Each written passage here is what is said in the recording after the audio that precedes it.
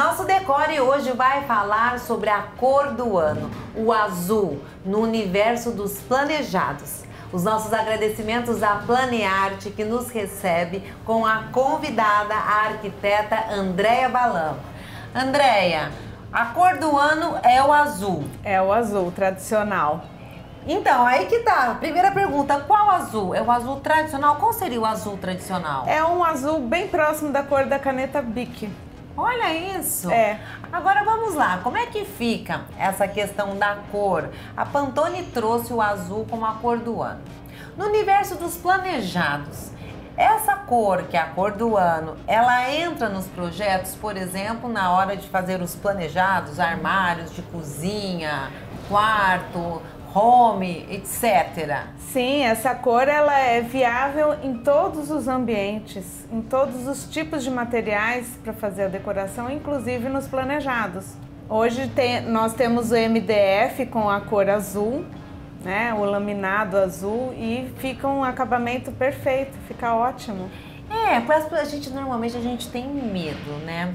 De ousar na cor. Por exemplo, o azul é uma cor. Bom, eu adoro azul, mas eu fico imaginando, na hora de você encaixar ele num projeto, qual seria a melhor maneira de adequá-lo? Bom, o, a primeira coisa que a gente tem que levar em consideração, sem sombra de dúvidas, é o gosto do cliente. Se o cliente gosta do azul, então o azul entra. E a gente consegue usar ele na composição dos móveis, é, dos planejados, dos tecidos, da cor de parede, a gente consegue trabalhar esses azuis. Olha só, é importante sempre, então, voltamos àquele ponto, respeitar o estilo de cada um. Sim. Agora, mesmo que a pessoa goste, existe uma tendência, Andréia, da pessoa consumir aquilo que ela já conhece? Por exemplo, quando a pessoa não conhece, ela tem medo de consumir um produto. Sim. E quando a gente fala de projeto, vocês que são da área já imaginam na cabeça, mas o leigo não, ele fica com aquela coisa, meu Deus, será? Existe um certo receio em usar uma coisa nova, né? Então, assim, o que, que acontece? Quando vem a tendência, logo no início, esse uso ele é muito limitado, são poucas as pessoas que realmente é, aceitam usar isso.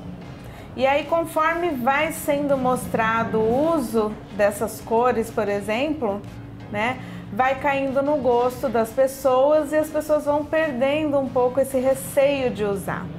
É, porque você veja, quando a gente fala, por exemplo, de cozinha, antigamente as cozinhas eram todas brancas, né? Uhum. Era branco, branco não tem erros, eletrodomésticos também tudo, tudo branco, branco, então ficava tudo branco, bonitinho. Hoje eu já vi inúmeras vezes cozinhas com aquele tom cinza mais escuro, aquele grafite.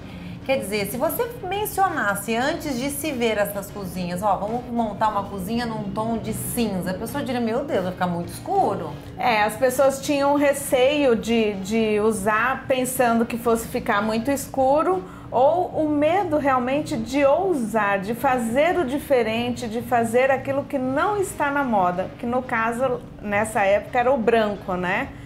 Mas hoje, graças a Deus, a tendência do branquinho aí, é, ela caiu um pouco, ainda usa, mas caiu um pouco. Usa como? De uma nova forma. A gente pode usar o branco na linha provençal, por exemplo. Ah. Que é uma linha que está vindo com tudo no, nos planejados. E fica muito bonita a cozinha com, com branco. O provençal, Andréia, ele seria uh, é um acabamento diferente? É o modelo das portas, né? É, teoricamente, o provençal é um acabamento de pintura tá? Só que aí a gente trouxe isso para a linha dos planejados. Então a gente faz um trabalho de moldura nas portas, tentando chegar na, na, no design daqueles móveis provençais de antigamente. Nossa, deve ficar lindíssimo. E fica muito legal, porque deu uma repaginada nessa linguagem provençal, né? Ela ficou um pouco mais leve, mais reta e uma carinha, um toquezinho de antiguinho. Olha Fica só. Muito Agora, bonito. isso que você falou, repaginado, eu acho super importante a gente trazer. Porque muitas vezes é mencionado que está se usando algo que já se usou. Mas na verdade, quando a gente diz que já se usou, a leitura atual ela é sempre diferente. Você não vai usar exatamente aquilo que foi usado nos mesmos padrões de antigamente. Exatamente. Nem tem como é, fazer igual, porque antigamente as técnicas de industrialização, de manufatura desses produtos eram umas. Hoje os materiais são outros as máquinas que fabricam isso são outras, então os acabamentos eles saem um pouco diferenciados. E a linguagem de hoje quer eh, trazer a tecnologia para o convívio das pessoas. Quer dizer, o resultado é super bacana. Você tem aquele que mais antigo com toda a tecnologia atual Exato. Tanto no feitio como em acabamentos. Exatamente isso. É isso aí, querida. Obrigada pela sua presença. Obrigada a você, Lelinha. Dicas e mais dicas do nosso decore para você. Os nossos agradecimentos à Planearte, que executa com excelência tudo do mundo dos planejados. Agora vamos para os nossos comerciais e a gente já volta.